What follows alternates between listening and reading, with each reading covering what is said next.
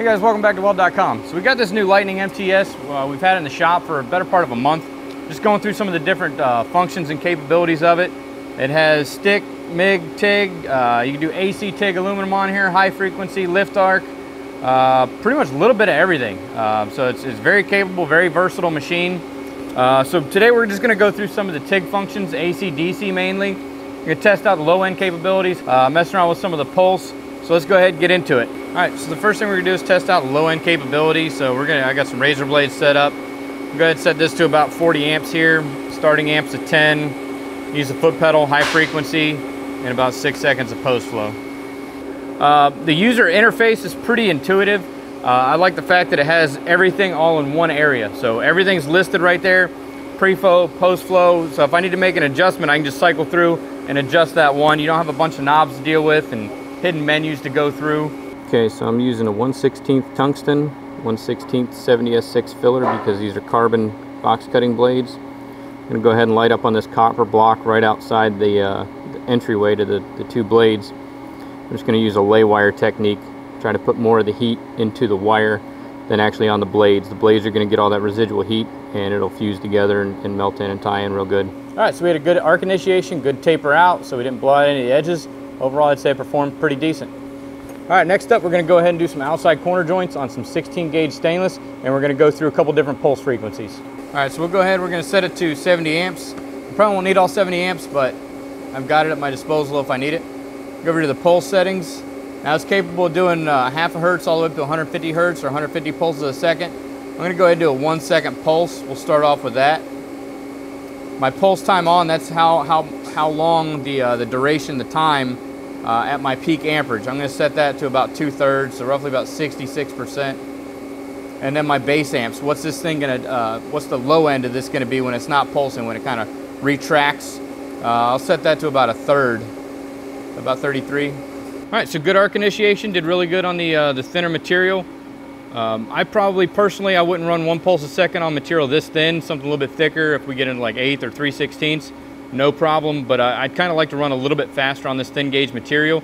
Uh, but overall, it did pretty good. We're gonna go ahead and bump it up to 75 hertz, or 75 pulses a second, and see what that does for us in the middle. All right, everything else is gonna stay the same. The only thing we're gonna change is our pulse frequency. The cool thing is if I push this dial in, I can go ahead, I can, I can make big adjustments really quick in, in tens, right? So I'm just gonna run about 75 pulses uh, per second. It's capable of 150, so this is about the halfway point uh, go back home and we're ready to go.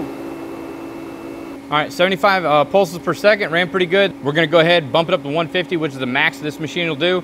Uh, that'd be a good application, like, you know, if you want like thinner materials, getting uh, overhead or out of position, uh, and do pretty well on there just because, you know, give it a little bit more uh, puddle stability. So we'll go ahead, crank it up to 150 and see how she does. All right, so one thing I like about this, like I said before, everything is intuitive. Everything's right here. You know, I wanna go in and adjust the pulse. I just cycle over till I hit pulse. Tells me it's already on. I'm gonna go in here and change this to 150. And then I can back right back out of it. Everything's just displayed, you know, so if I need to make a quick adjustment, you know, I can just bounce over to where I need to go, change my post flow. I like not having to go through sub menus and, and uh, you know, different hidden menus to try and find, you know, where, what, what my settings are at.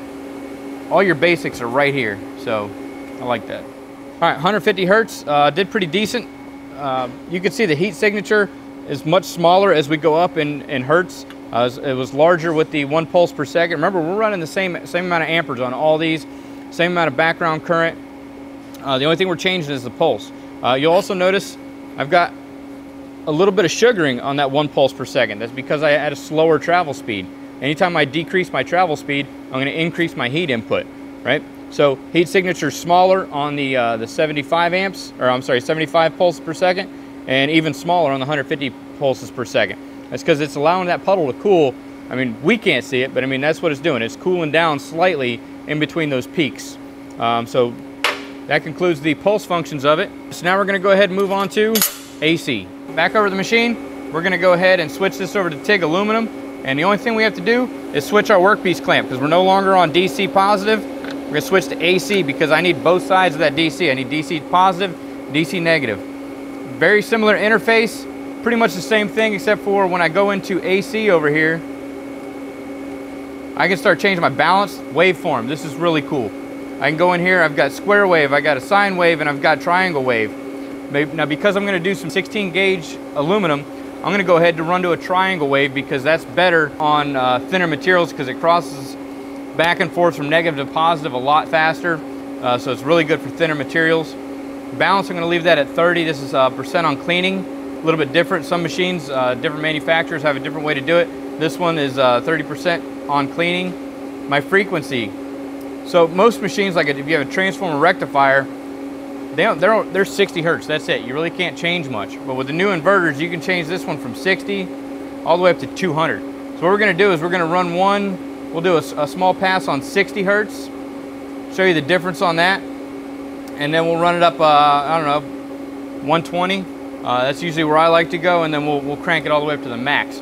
Now what frequency is gonna do is it's gonna allow me to take that arc and tighten it up really tight, which would be ideal for an outside corner joint like this because I don't want a really wide puddle, right? I want something really narrow. So we'll go ahead, we'll test it out on 60, uh, and then we'll show you some of the other capabilities, change in frequency, and what that's gonna do to our puddle.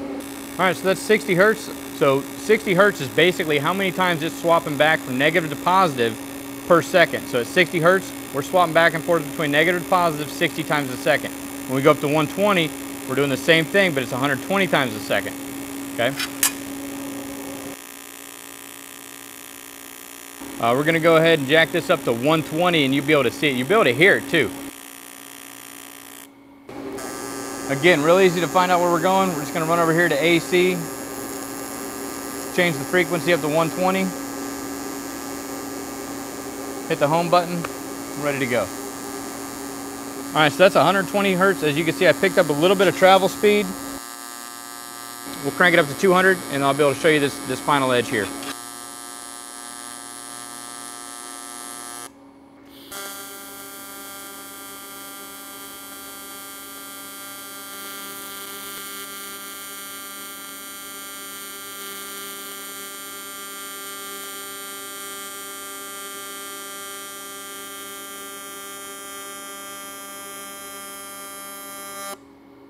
All right, so we got our uh, weld samples here, 60 hertz, 120, and 200. So with the 60, you can see, all, I mean, all three beads, pretty much decent welds. Um, but the 60, a little bit wider than the other two. Uh, we get into the 120 hertz. Not much difference between the 120 and 200, although with the 200, I did notice I was able to get obtain a faster travel speed. Um, so that that's kind of nice about it. But other than that, I mean, it's all user preference. You know, it's if you need 200 hertz, you got it if it's there.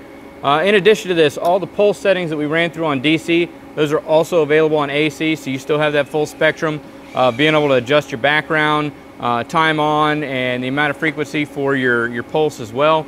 Uh, we also messed around with uh, some aluminum cans, so you can get pretty thin with this stuff. Cameraman will show that. Uh, stay tuned because we're going to be doing some stick and MIG on this as well, as well as flux core.